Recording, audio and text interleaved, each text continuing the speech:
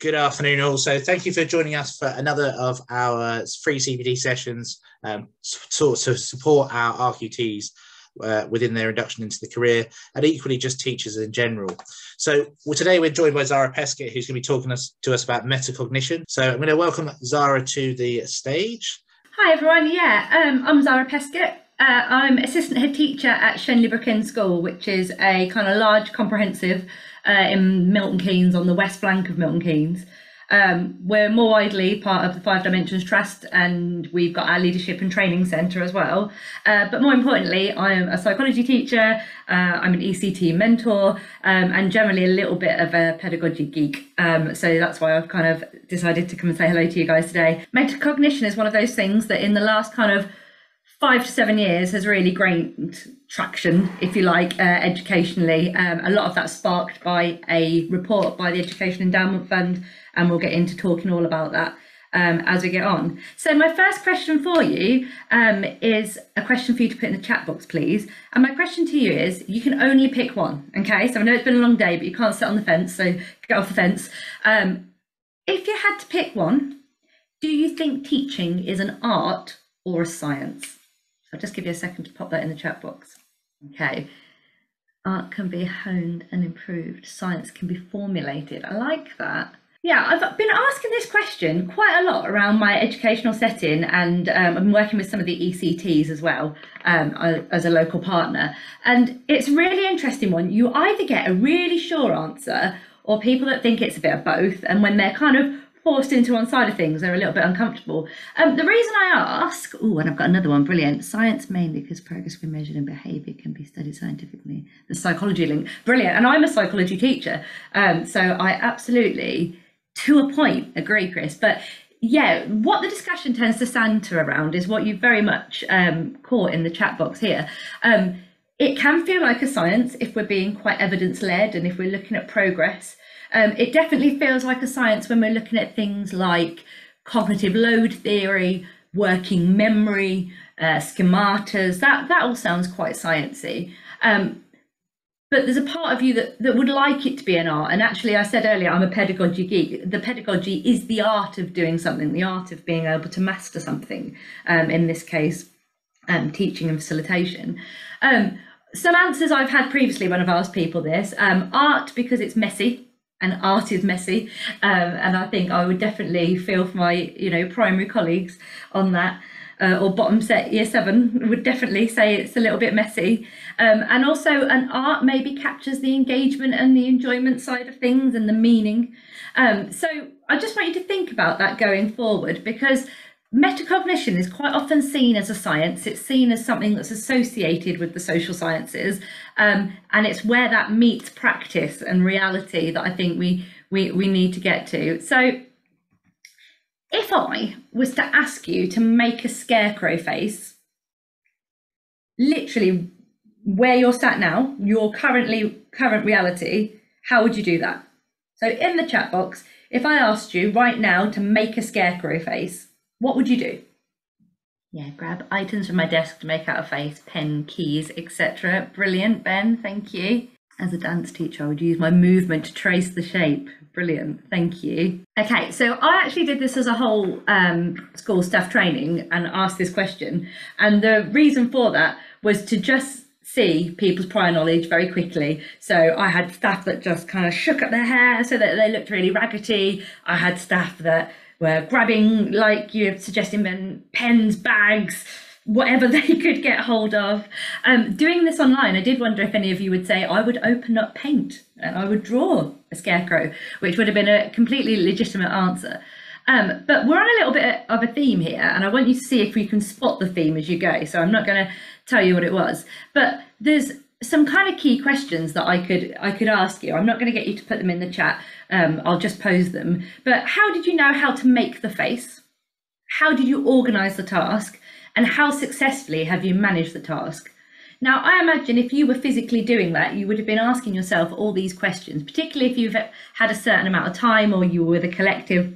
So you'd be thinking, okay, scarecrow face. How do I know how to make a scarecrow face? You might have been thinking of images down the bottom. Um, you might have been thinking more about Julia Donaldson's The Scarecrow's Wedding if you're primary. Um, but you'd have been thinking how you might be able to organise the task. So you'd have been grabbing things, you might have been opening paint in your computer. The practical would set in. So you'd be assessing your prior knowledge, the practical of how you were you were doing it, and then you would hope, as you were going through the process, you were being evaluative. Even if it was as simple as, I don't know, I was going to use kind of pens for my hair. Okay, which pen would I pick? Well, I'd, I'd probably pick the yellow one because I, I associate being a scarecrow with straw. So all of these processes will have been going on. And these processes happen from a really early age. Okay, you've got a child here, it's not my child, and I do have permission to show these, so don't worry, um, who was put this exact task. Um, and it's where I got the idea from my my training from. You know, early year settings are brilliant at doing metacognition because they'll have said to the child, this is William, um, they'll have said to William, you know, what what bits are you going to pick out? Um, what do we need for the eyes? Right, eyes are round, and he, he'd go off into the craft drawer. Um, was really interesting is that the he picked lots of different colour raffia to go around the outside, and that's because he had recently been looking at Julia Donaldson's um, The Scarecrow's Wedding, and the scarecrow in that has lots of different colours through its hair, so that was his point of reference. So, what are we trying to say? We're trying to say that metacognition is about being able to ask ourselves questions and become a self regulated learner. Now, like I said, metacognition has very much come to the forefront um, of education recently. There's, you know, lots of schools have it as part of their guidance, there's been lots of reports. Um, whether or not you've come across the Education Endowment Fund before, um, the Education Endowment Fund is a government funded organisation um, which basically does lots of evidence and lots of research, initially to set up um, its focus was on on the disadvantage, but actually quite a lot has been seen in terms of evidence collected and how it can help the wider audience.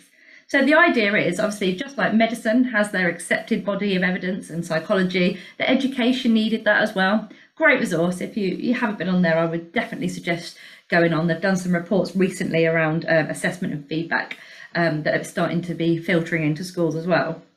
But basically, the Education Endowment Fund sets out in its metacognition report, and there's a refined version, which is this poster. I always like a shortcut. So the whole report is kind of 30 to 40 pages, but in its refined outcome, it, it kind of comes to this. And it basically says that teachers should acquire professional knowledge on metacognition, and if they do so, they can improve the amount of months progress um, that children make, anything ranging from, from seven to nine months. This is the definition that we use in school uh, when we're talking about metacognition. And I think that would be a really good bit of advice for you. I know you're RQTs, but very quickly i'm sure you'll be looking at you know moving into leadership and we're all leaders in education um, no matter what stage we're, we're at in our career um, but i find a really useful thing to do is to establish a working definition of metacognition um, i picked this one which is out of the education endowment fund report but there are others um, and metacognition is the way learners monitor and purposefully direct their learning. And that links to self regulation. So, self regulation, if you want to, do the shortened hand version of this, is the extent to which children, which learners, are aware of their strengths and weaknesses. And if they are aware of them, how they can impact on their own process. So, some people use the definition that metacognition is learning about learners. Um, I'm not a massive fan of that one, if I'm honest. I think it's more about that the students can direct their learning. So all sorts of connotations should be being used there about kind of independence, um, about being purposeful, about assessing strengths and weaknesses, etc. So metacognition to me is plan, monitor, and evaluate. Now this circle can be huge or it can be small.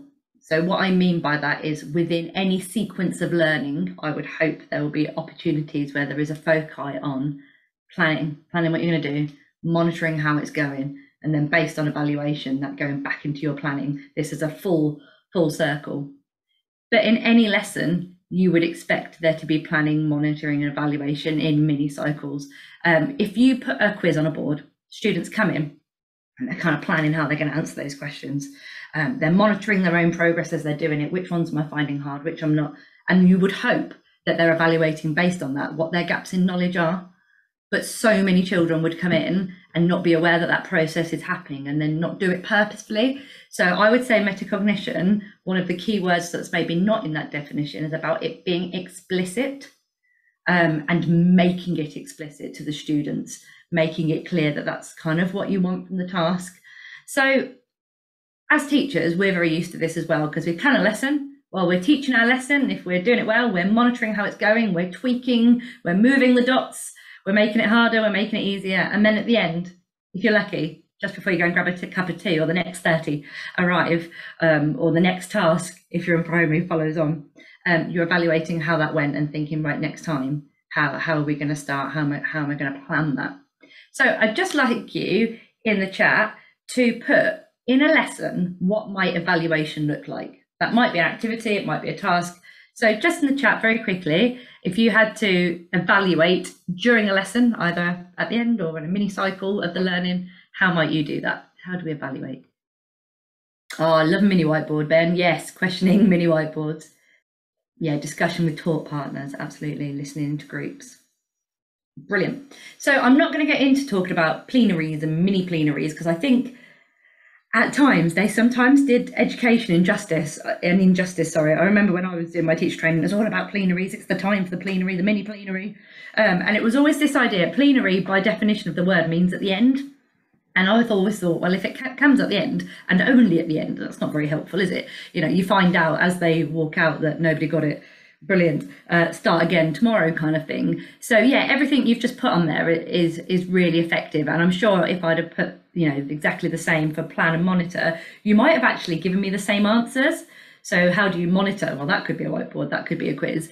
Um, but it's about being explicit explicit that the activity we do what is its purpose? Is it to plan? Is it to monitor and evaluate? Um, i'm quite comfortable with sharing this language with students some schools do, some schools don't. I, I do think the success at our school is because we have um, we don't have metacognition lessons. Um, I know some schools, you know, have whole schemes of work on metacognition, or it's it's a tutor um, time program. We just ask our teachers to explicitly refer to it when you're teaching. And so you might say, you know, share this and say, you know, when we're doing this task, we'll be evaluating or we'll be planning or this is very much an evaluation lesson. You know, I teach year 11, they're all coming out of mocks at the moment. We're very much evaluating where we are, but with the purpose of the planning. And I think, if anything, the gap between three and one background um, is, is, in my opinion, very important.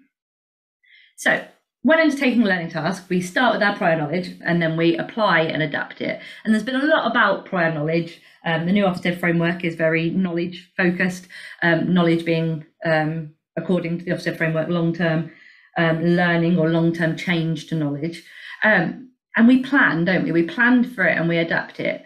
Um, but it's not just about the prior knowledge, it's about planning how to undertake a task. Um, and while we're working on it, that, that monitoring and evaluating. So uh, we're not necessarily on discrete steps, but an ongoing cycle that should underpin um, all that we do. So that cycle, I think, is integral to metacognition. So it's hidden in plain sight. So sometimes I would reveal it to the students afterwards as a kind of reminder. So did you plan beforehand? Did you assess the resources available when I was asking you to make a scarecrow? Did you monitor your progress along the way? Were you looking at your neighbour's scarecrow? Did you like their scarecrow more? Were you looking at the board where there's a picture of a scarecrow and comparing yours to that? Because that, that would be scaffolding. And then did you evaluate your scarecrow? Did you put the eyes on and go, mm, not there, not happy about that, move them up, move them down? So plan, monitor, evaluate is always hidden in plain sight. It's exactly our cognitive process, but the idea is about making it meta, about making it observable.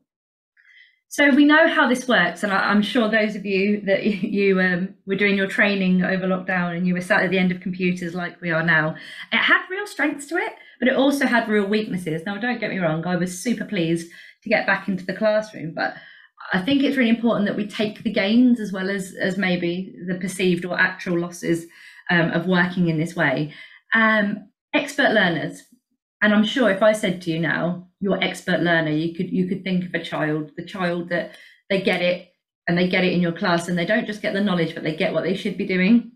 Um, in our expert learners, these metacognitive processes are unconscious and automatic uh, and the thing is, you are an expert learner because you've become a teacher.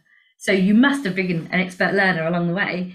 Um, but we don't necessarily take the unconscious and, like I say, make it conscious or explicit, whichever word you prefer. So some children develop metacognitive skills naturally. However, others need to have these taught. And that is why teacher modeling and scaffolding is so important. So I just want to stop there and ask you a quick question in the chat. Um, what is your understanding of the word modeling or scaffolding? You can pick. So I'm looking for in the chat, uh, definitions probably too strong a word, but your understanding of either the word modeling or scaffolding. And if you can put which it is, that'd be fab. Modeling is demonstrating how to construct learning. and a thinky. Mm. Um, modeling is demonstrating success criteria. And scaffolding is providing a framework to support success in learning. Yeah, scaffolding providing further support, demonstrating in a different way. Love that. Yeah. So, absolutely right. Your modeling is a bit about you. Students can model as well, but when we're modeling, it's a kind of a how to.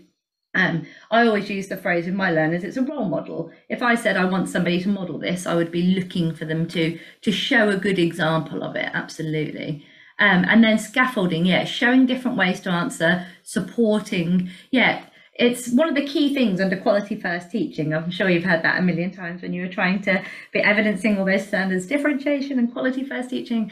Um, but there are two things that I just think are, are timeless and that the reason they have lots of different names like scaffolding um, if you said to any teacher from kind of 1980s what scaffolding they go writing frames or sentence starters because there was such a huge thing about it um, during the kind of every child matters agenda. Um, but differentiation quality first teaching scaffolding supports frameworks whatever word you want to use the reason there's so many names for it is because it's a timeless key point. Um, and modeling you know whether it's calling it the expert, whether it's the modeling, whether it's the show, whether it's the I, me, you, it, has got lots of names, but those two things I think are integral to practice. Um, and how you do those can massively um, support. So I want to try and not just give definitions during this session because I always think they're very helpful, but actually you want something that you can try in your classroom tomorrow, something you can give a go, do something that you maybe you haven't done before, or do it in a different, more purposeful way. Um, so this here is some kind of questions that you, you can use to support. Um, again, as a school, we're very keen on sharing being a metacognitive learner with our students, and we might have these up. Actually, there's a fair few of these up in classrooms around um, our school, um, just to prompt students. So, like, where do I start? You know, what have I learned from the examples we looked at earlier? You might be asking these questions, but they hopefully over time will come to ask them of, of themselves. Am I doing well? Um, do I need to do anything to improve my work? How did I do? Did my strategy work? All these questions can be really helpful. Um, some teachers have them on word mats um, around their room, but just a constant training, if you like, of students to think in this way. So that might be a resource that you might want to just stick on a board, stick to the side, share with students, or you might have a particular tricky task that you want them to reflect on these as, as well um, as you're going along. You can get students to ask them of each other so a possible resource that you might want to use just because it's it's nice to have one of those. And again, being practical, what might like this look like in my classroom? Now, I shied away from doing this. So, like I said, I did a, a whole staff training on metacognition, and whole staff training is always fun because you've got such a mixture of experience, and you know that won't work in science. And well, in maths we do this, and well, when I was at my teacher training, it was called that. Um, and and you pick out these ideas, and uh, we've got a brilliant staff body, so you you get great discussion, but I really held back from putting this up. They were saying, I said to them, so what might this look like in, in my classroom, in, in your classroom, in my, my kind of my way of trying to pose a meaningful question? And they were like, give me some examples. And I was like, oh, I don't want to, because these at their best are metacognition and at their worst, they're not. Um, and you'll know this with anything. Um, you know, when you pick up a resource, somebody else's resource, and you think you know how to use it, and then you go and do it in the lesson, it doesn't quite work. Um, it's all about the facilitation and the teacher because I have seen kind of knowledge organisers that are in no way metacognitive. You know, if they're a list of questions, um, you know, a list of topics for my year 13s in psychology, and I say, right, You've got your knowledge organizer, use it to check everything's in your folder. Brilliant, let's move on. Some have got gaps, have done nothing about it. Um, some have got loads of notes, far too many on something. And again, I've done nothing about it. They've literally highlighted red, orange, green. They don't really know which is which. I've not standardized what orange means. I've not asked any follow up questions. Um, so these things can be really ineffective.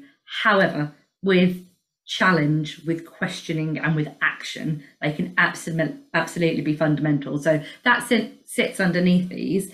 Um, I bet there is something on here that is a bit of a thing at your school. So exam wrappers have become a bit of a thing at our school at the moment. So students come out their mocks, um, sorry, they're still in the mock hall and they have to kind of on an exam wrapper put their initial thoughts about what was easy, what was hard. They get a bit of extra time to do that. So what's the thing in the chat box? If you had to pick one, what is the thing that you think at the moment is a bit of a, a buzzword around school? I'm not going to say fad because that suggests it would come and go, um, but you probably know what I mean. Is there any of those? Hmm, green pen, red pen. Yeah, we love a green pen. Doesn't matter that it's green, it's about what they do with it, but yeah, absolutely. Hmm, success criteria slips, yeah. Two stars and a wish in primary. Two things that went well, what I wish I'd got, what I want to do next, what I need to do next. Okay, brilliant. Some excellent ones coming through. And like I say, there's nothing wrong with them. I'm not being critical of them, or I wouldn't have put them on the slide on the board. But I think the number one question I often say to staff is how does it help them plan, monitor, or evaluate? Because if you can't explain the how, then then it, it's not particularly effective. And the students need to know as well what is the point in me doing this? Um, so yeah, all of these things can be super effective in the classroom. And the reality is that they've probably been driven by metacognition. That's probably why they're being said um, as things in your classroom quite frequently at the moment. So all effective, all can go at the beginning, front and the end. But like I said, all about the facilitation of those things and how they help students. So my question when I did this was what does this look like in your team? You know, what would you expect to see while this was going on?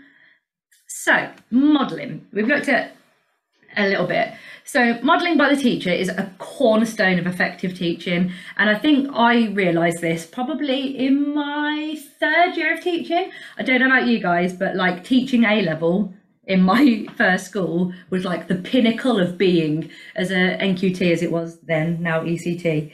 Um, if you know, if you managed to get to teach A level three or four years in, you were doing well. You kind of had to wait for someone to retire to be able to teach A level. Um, so I finally, as a psychologist, even you know, lots of Key Stage Four, finally got my hands, and um, that's when it gets hard actually because I'm trying to model something that's not necessarily easy to me, and I think that's really important because that's what our students do every day. They're trying to do something that they don't find easy. Hopefully, if we've pitched it right. So what I would do as a teacher is I would model essays. That that tends to be the first thing that comes to people's minds. And I'd say, okay, so we need to write the introduction. What does the introduction need to do? And then they'd all write one and we'd discuss some key terms that we were all agreed needed to be in there. Okay, now we need to do evaluation. What does evaluation look like? And so on and so forth. And uh, a teacher said to me, my um, they weren't my mentor anymore, but they'd, they'd been my mentor previously, said, oh, you're doing I, we, you. I said, am I? I can do this, and I'm showing you. We can do the answer, and then you're going to go off and do it on your own. And I really liked that modeling being seen as I, we, you. I'm going to do it. We're going to do it together, and then the outcome should be that you can go off and do it at your own. Because if you can't do the you bit, we need to come back to the we bit. Um, and it was a really nice collaborative language, I, we, you, and it comes up quite a lot. So I just thought I'd share that with you again. Something you can little idea you can share with your students saying I, we, you, this is how we're going to go. Gives a bit of confidence. Um, and if you can't do it, I got it wrong, so we need to go back and try again together. So quite a nice language, even when they're 17, 18. So teacher modelling is about verbalising metacognitive thinking. So what do I know about problems like this? What are the ways of solving them? Sharing the fact that you are the expert learner so teacher modeling is all about verbalizing our thought process and again doing that explicitly. And the best teachers always do it. They just don't necessarily know why they're doing it. So talking out loud can help learners to focus and monitor their cognitive processing as well and helping them to develop a deeper understanding of their own thinking process. I appreciate the difference between summative and formative assessment. I think we probably, as an education, do far more um, summative than maybe we should. Um, I'm a real fan of walking, talking mocks. of doing a mock paper with the textbook open, talking with a friend, because um, we're all going to get full marks because we've got everything that we need, um, and then withdrawing that support as you go. Um, so again, metacognitive talk not being something just that the teacher does, um, but something that the students do as well. So a classroom dialogue is key, and I did a previous session to this one on oracy, um, and I'll show you a slide in a minute that brings it all together. But as a school, we really focus on oracy and metacognition because the two are in, inherently linked. Because um, metacognitive talk is that coming together of being able to articulate yourself and link it to how you're learning. Um, and that dialogue can happen pupil to pupil, pupil to teacher. Um, and actually, when it becomes pupil to pupil, it's really beautiful. Some of my you know, my loveliest moments are when kids say things like, "Oh, your conclusion's too short. Where's this?" And it's so non-threatening, and I use that tone because that's how my teenagers talk to each other sometimes. Um, but it's really helpful when you've got you you're one person in a classroom to get around thirty children is so difficult. If you have got their peers starting to say to them, "Oh, you know," she said, uh, "We need to do that." It's it's absolutely fab, and you'll have all had those moments where you think, "Ha ha, we are getting there." So this is an idea on some of the language you can use for metacognition from a book.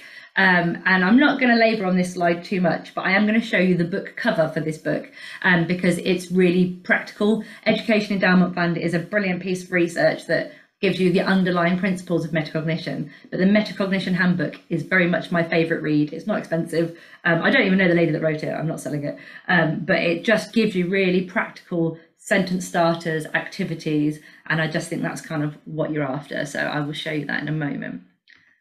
So, have you been paying attention? Is my question. In the chat box, there has been imagery throughout this PowerPoint presentation. What film has all the imagery been from? And there's a whacking great clue. There's your, there's your scaffolding on the screen. Okay, so CPD at Shenley End, it's almost compulsory that fancy dress is involved. And so we had a whole staff training on our school pedagogy, which is on here. Um, now, you don't need to know my school's pedagogy. Um, different schools believe in different things at different times. I don't assign particularly to any one thing. I think good teaching and learning is just good teaching and learning. Um, but our school pedagogy is focused around talking, thinking, doing. So oracy, metacognition, and something called the Magenta Principles by a, a man called Mike Smith. Um, Mike Hughes, sorry, sorry, Mike, um, Mike Hughes. So when we are talking about metacognition, we link it into things that we're already doing in school. I think that's really important as you become future middle leaders. I think if something gets plopped into a school in isolation to things that have been doing it gets seen as a bolt on and a hassle and a load of work. So we were very key to draw it into what we were already doing. But Wizard of Oz. Okay, so the wizard, if you had to use this is I'm banking on some childhood knowledge here. The theme was the Wizard of Oz. We were all dressed up as different Wizard of Oz characters. What one word, if you had to pick one, would you use to describe the wizard in the Wizard of Oz? Too long ago, that's fine, don't worry. I did this with um staff and someone was like, green. I was like, mm, yeah, that's not quite what I'm going for. Come on, James, help me out. One word to describe the device. What do you reckon? So I see if he's gone off to have a coffee. No, no, I'm still here. I'm, I'm just racking my brain, struggling to remember. um, is, is the one that is it the Wizard of Oz that melted? The one that melted? No, that's the Wicked Witch. That's the Wicked. It's it's been that long. Okay, I'm going to do a synopsis for us. Don't worry. Brilliant. Okay. So, Wizard of Oz, Dorothy, the whole film is trying to get to the Emerald City. That's what's in the background here. And she meets people on the way Scarecrow, Cowardly Lion, uh, she's got a dog, um, just to find the wizard because the wizard is going to help her get home. And then she gets there, and the wizard, the best word to describe the wizard, is an absolute fraud. He isn't a wizard at all. He landed in Oz in a hot air balloon about 30 years previous, they all thought he could fly because he was in a hot air balloon and it's technology they'd never seen before. And he has absolutely no way of getting them home. So The Wizard is an absolute fraud because the film The Wizard of Oz isn't about the wizard, it's about Dorothy. And Dorothy basically has the ability to get home from the first scene. She's given some ruby slippers by Glinda, the Good Witch. So the whole film, she could have got home, but she has to meet the people along the way to learn the lessons she needs to learn to get home. So it's all about the journey, it's all about the learning. And this was the theme of our training day. Kids have got everything they need to succeed, but they just don't know how to access it. They need their friend, they need their cowardly lion, they need their tin man, they need their scarecrow, they need these skills. So we talked about the fact that our students need help in being independent. Dorothy saves herself. It's like a feminism film way before its time. Dorothy saves herself, but she needs her friends to do it and she needs the learning and the skills that she gathers along the way. So the Wizard of Oz is all about the journey and the skills, hence hence the theme. We also had a little bit of pastoral training that we were trying to shoehorn in. It was all about relationships and having a heart. So our deputy head was very pleased to have to dress as a Tin Man. Um, but this story that we use, we often refer back to as staff that it's about metacognition is about if learning is the consequence of thinking, our students need to think, and our job is to get the students to think, but we have to give them the tools to be able to do it. And they are plan, monitor, evaluate. They are modelling and they are scaffolding. And I think if you make metacognition anything more complicated than that, it becomes something that it sits alongside what we do rather than core to we do. So that's my kind of my key evangelical bit.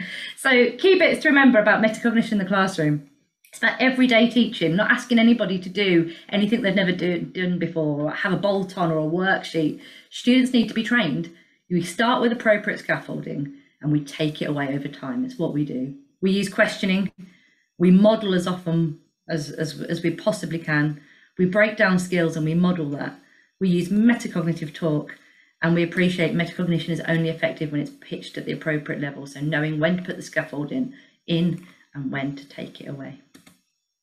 So just some go-tos if you do want to go and have a look a little bit more at metacognition.